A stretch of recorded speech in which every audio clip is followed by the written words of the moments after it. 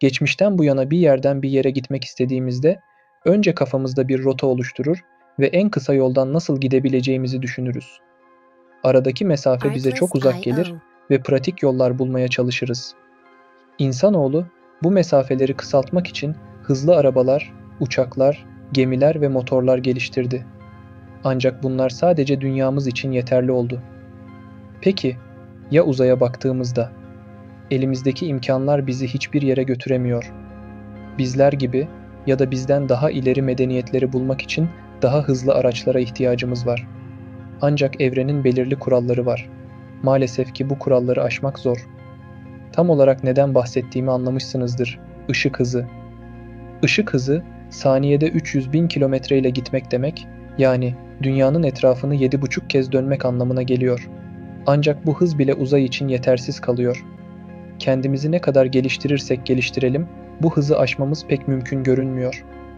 Peki, bize bu sınırı koyan evrende başka alternatifler olabilir mi? Bu mümkün mü? Gelin, bu soruların peşinden gidelim. Videoya devam etmeden önce videoyu beğenerek bana destek olabilirsiniz. İyi seyirler. Evrende bizi A noktasından B noktasına götürebilecek bir yol var aslında. Solucan delikleri. Öncelikle neden bir solucan deliğine ihtiyacımız var onu anlayalım. Evrenin bizim için belirlediği hız sınırı olan ışık hızında dahi yol alırsak, bize en yakın yıldız olan Proxima Centauri'ye ulaşmamız 4,5 yılımızı alacaktır. Ya da komşu galaksimiz olan Andromeda galaksisine ulaşmamız 2,54 milyon yılımızı alacaktır. Şu an böyle bir yolculuğa çıkarsak, aradan geçen süre nedeniyle ne gözlemlediğimiz nokta gözlemlediğimiz gibi kalacak ne de geriye dönüp bilgi vermek istesek, arkada bıraktığımız medeniyet eskisi gibi kalabilir. Bunun için evrende böyle bir şeyin olması gerekli gibi görünüyor. Bu konu üzerinde yıllardır bilim insanları kafa yoruyor, tabi bunların başında Albert Einstein geliyor. Ancak solucan delikleri ilk olarak 1916 yılında Ludwig Flam tarafından ileri sürülmüştür. Flam, Einstein'ın genel görelilik teorisi denklemlerini elden geçirirken beyaz delik adını verdiği, kara deliklerin tam tersi özellikteki bir gök cisminin teorik olarak mümkün olabileceğini fark etmiştir. Bir beyaz delik ile bir kara delik arasında bir köprü kurulabileceğini düşünmüştür.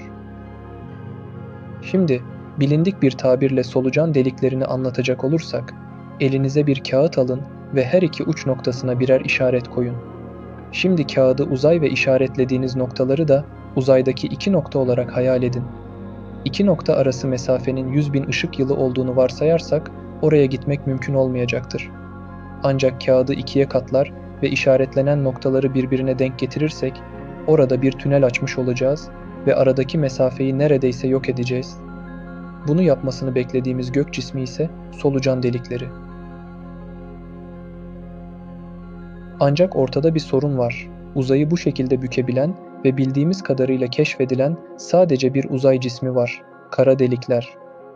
Olay ufkuna giren hiçbir cismin, nesnenin veya ışığın dahi oradan kurtulamadığını biliyoruz.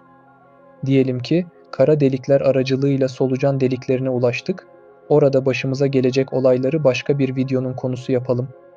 Şimdi bir kara delikten geçebilecek bir uzay aracıyla kara deliğin içine doğru yolculuğa çıktık.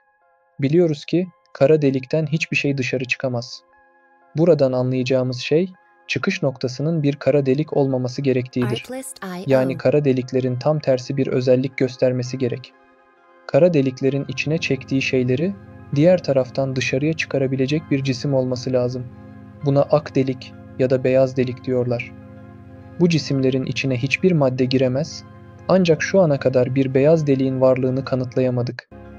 Beyaz delikler eğer kara deliklerle etkileşime girerse evrende bir tünel oluşturabilirler. Bu tünel evrende çok büyük mesafeleri çok kısa hale getirebilir. Ancak böyle bir durumda bile bu tünelin bizi nereye çıkaracağını bilmiyoruz.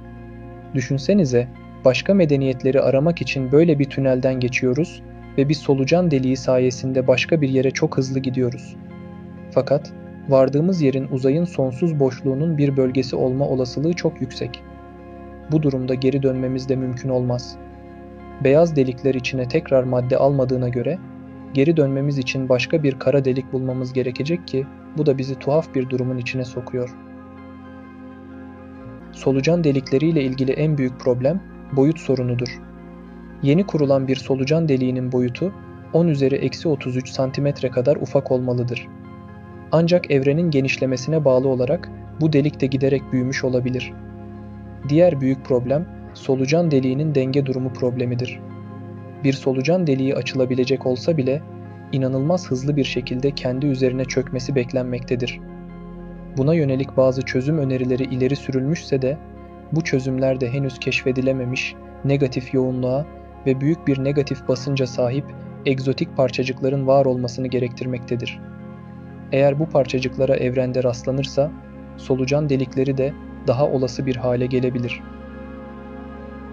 Eğer ki bu şekilde egzotik parçacıklar varsa, kuantum alan teorisine göre bu parçacıkların uzay zaman düzleminde bilgi veya yolcu taşıması mümkün olabilirdi.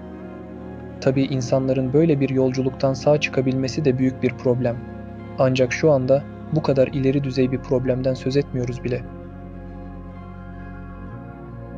Bu ilginç özelliklerinden dolayı pek çok bilim kurgu yazarı romanlarında ve filmlerinde solucan deliklerini kullanır.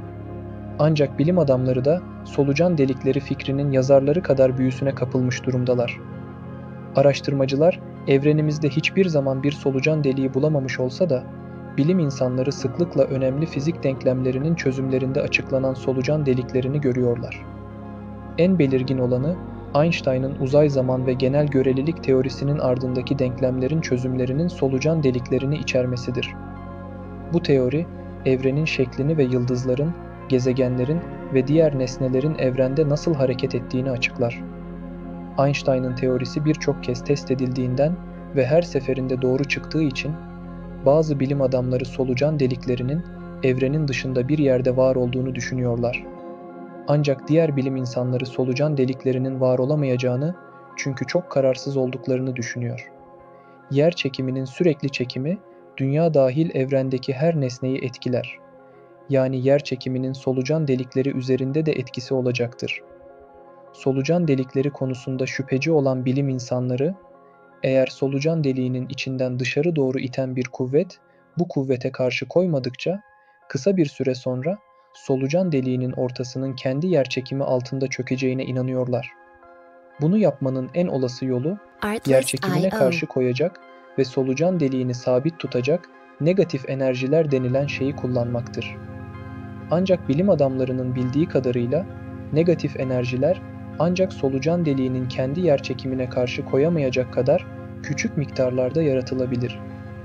Büyük patlamanın evrenin başlangıcında az miktarda negatif enerji içeren ufacık, minicik solucan delikleri yaratmış olması ve zamanla evren genişledikçe bu solucan deliklerinin de genişlemesi mümkündür. Solucan delikleri, uzay ve zamanın sınırlarını aşmamızı sağlayabilecek heyecan verici yapılar olarak teorik fizik literatüründe yer almaktadır. Ancak bunların gerçek hayatta var olup olmadığı ve kullanılabilirliği henüz kanıtlanmamıştır. Solucan delikleri üzerine yapılan araştırmalar, evrenin derinliklerini ve fizik kurallarının sınırlarını daha iyi anlamamıza yardımcı olabilir.